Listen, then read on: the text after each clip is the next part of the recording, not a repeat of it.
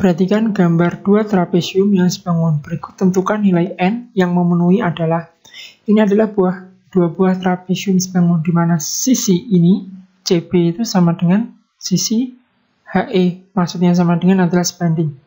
Oke, sekarang kita tulis rumusnya sebangun. Berarti DA itu sebangun dengan bidang GF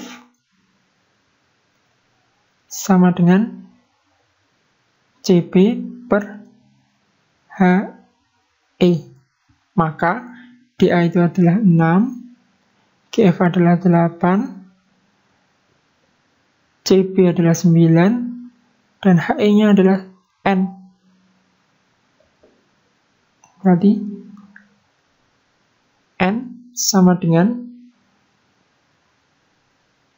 8 dikali 9 dibagi 6. 72 dibagi 6. Hasilnya adalah 12. Maka jawabannya adalah A.